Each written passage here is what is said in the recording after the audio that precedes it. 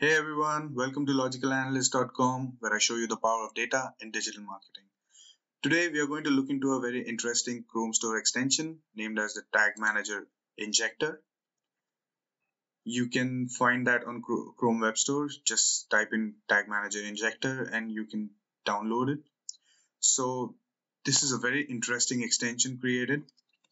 This will help you to inject your Google Tag Manager container on any of the websites where you want where the code is not yet published on the website but you just want to make all the changes and see.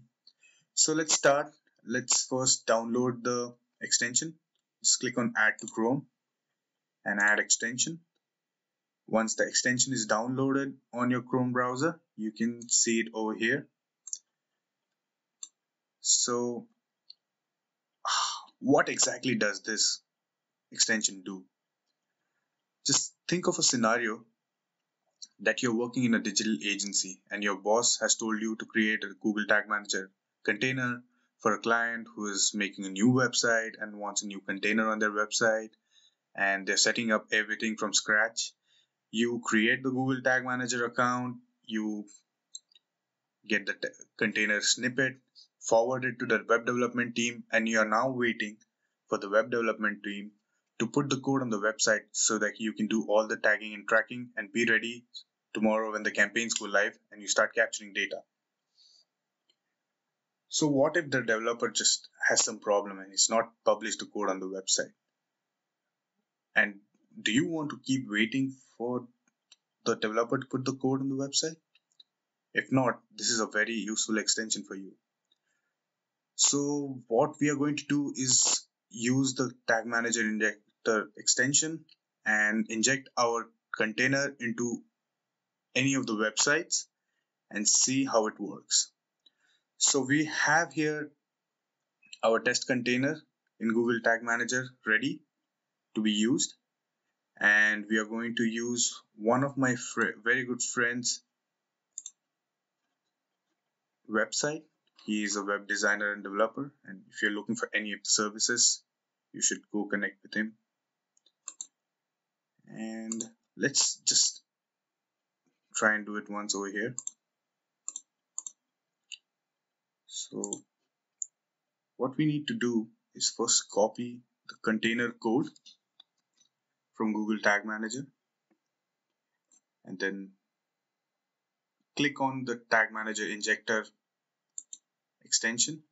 It will open up a small page here where it will tell you to insert your GTM container ID over here your domain name where you want to inject the container on a temporary basis. Mind you, this is not a permanent thing which you can do. This is just for the purpose of testing your container and the tags, whether they're, they're working fine or not.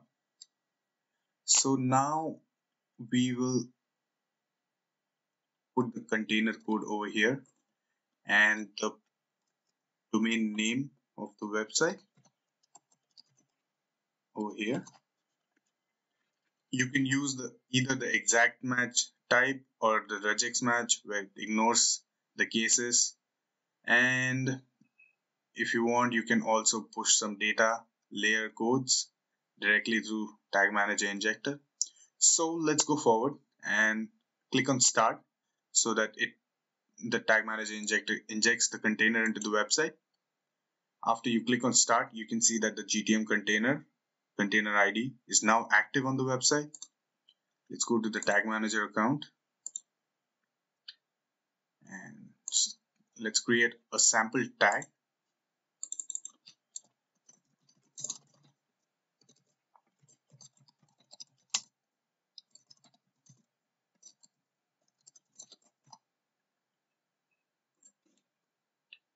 We are here making a page view tracking tag, which is a very basic tag as we saw in the last video.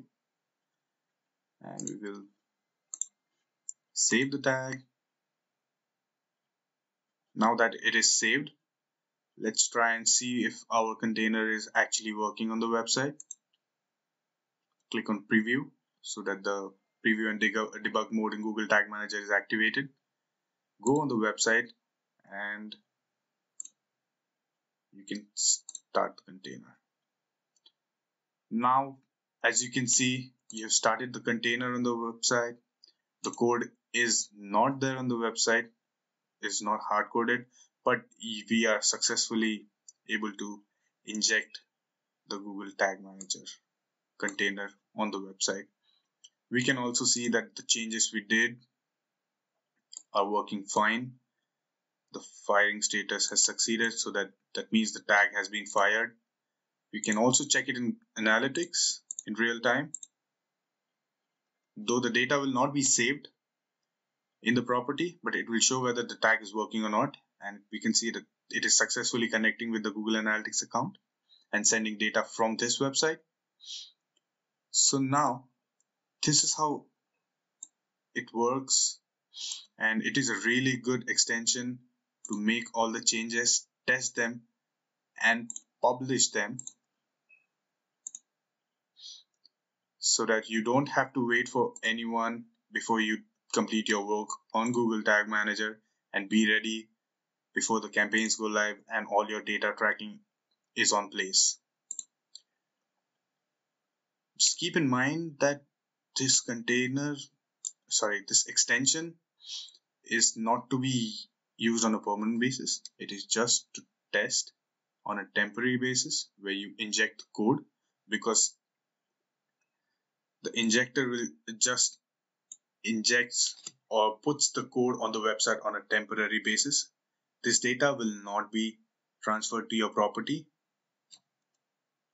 but it's a really good extension to complete all your tasks and not to wait for anyone. So yes, that's it for today. I hope you enjoyed the video. Please like the video and subscribe to our channel. Thank you.